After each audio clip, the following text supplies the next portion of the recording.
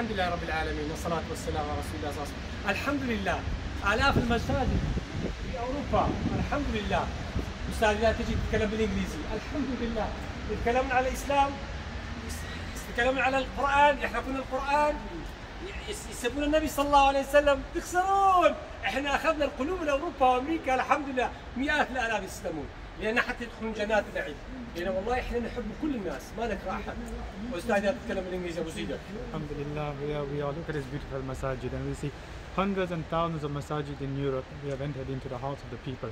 Hundreds and thousands and millions have accepted Islam. And this is what Islam is all about. It's about peace, it's about living together, living as one.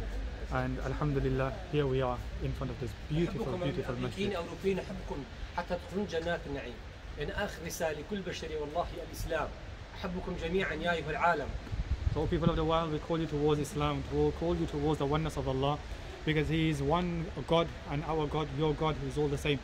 So we call you towards Islam. This is the last message of Islam, the last message of, to the people of this world is of Islam, and together we shall enter into paradise, inshallah. يتكلمون على اسلام ليش؟ لأن الاسلام صعب صار قوي سترونج خلال سنوات قليله قسما بالله العالم 70% يصير اسلام لأن الاسلام دين الحق دين الله اشهد ان لا اله الا الله واشهد ان محمد رسول الله يا حبيبي يا رسول الله اللهم صل على محمد وال محمد النصر للاسلام وكل Alhamdulillah. Doctor, you see, he's so passionate when he comes to Islam and standing in front of the masjid, he feels strong. He feels that the message should be strong of Islam as well. And inshallah, this is the one message that the Doctor is giving to each and every one that inshallah together we shall, um, together with unity, we shall enter into Jannah inshallah.